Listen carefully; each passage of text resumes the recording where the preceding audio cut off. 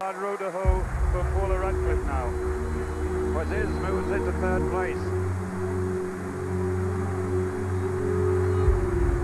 The pattern in the later stages, as we expected. Ribeiro forced to run in from the front and use her distance strength against the speed of O'Sullivan. Ouaziz goes third. Radcliffe at the moment just ahead of Szabo, fourth and fifth. Marcosio is sixth.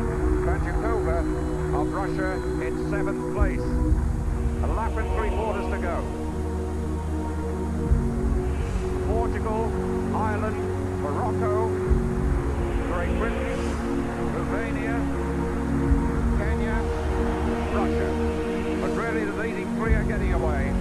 We're probably looking at gold, silver and bronze as the three have got 600 to go. Radcliffe trying to rally,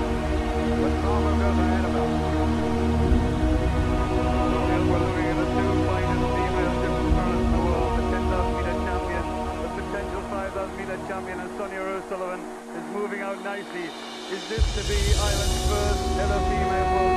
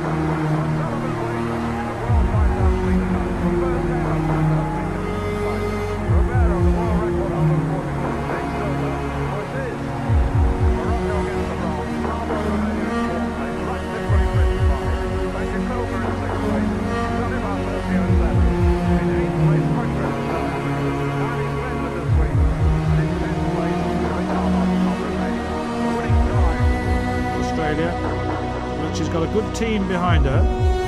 And she's now breaking away, and surely, surely she won't be run down now. She's not making any, any mistakes here. This is a perfect piece of tactical running by Sonia O'Sullivan. And Ouaziz is catching Dulecha. And that is much celebrated, as you can see, by this uh, very much a local crowd who turned out to celebrate uh, Moroccan's uh, participation here.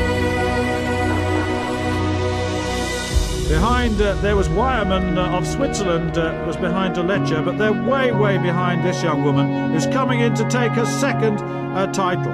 World champion over eight kilometres and now world champion over four kilometres. And Ouaziz is catching uh, Dulecha. Dulecha has paid the penalty for trying to stay with O'Sullivan, and Ouaziz is really sprinting hard to take her on. No doubt about the winner. O'Sullivan back in the best form that she could have hoped for. This will give us such a base, such a platform of confidence for the athletics uh, season to come on the track. Surely we shall see her winning medals at the European Championships uh, later on this season. And the margin of victory now is big. And a little glance over the shoulder, a little smile on that face, and signals a great and unique double in this World Cross Country Championship. Sonia O'Sullivan is champion of the world for the second time. 2.59 for the last uh, 1,000 metres and 12.20 the time overall. And what a good run by Ouaziz. She didn't give in.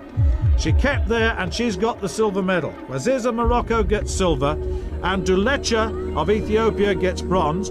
Weyermann, the Swiss, is coming in next. And the Now back to the women's 3,000 meters with uh, just less than four laps to run, and Ouaziz uh, Morocco is taking the lead over Javo, who's in second place. American Regina Jacobs is running fourth. Jacobs fighting hard to stay on the pace. This is turning out to be a great race, a fast race, not too far off of the world record pace. Their first mile about 422. And I think everyone's happy with this pace, even lessens Regina Jacobs' chances of winning in a slow time. Regina also would like to get the American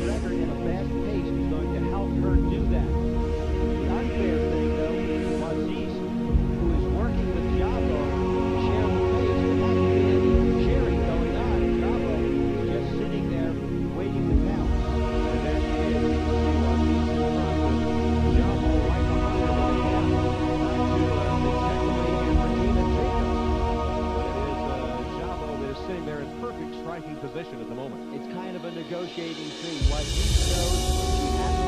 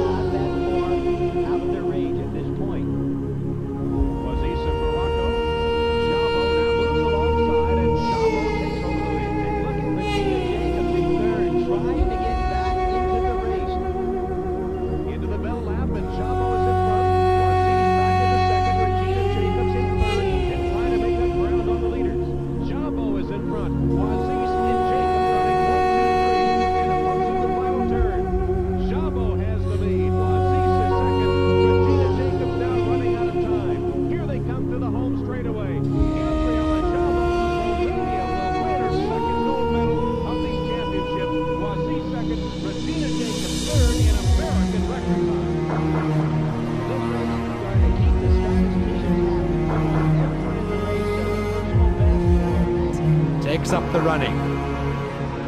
Ouaziz, who was second in 1998.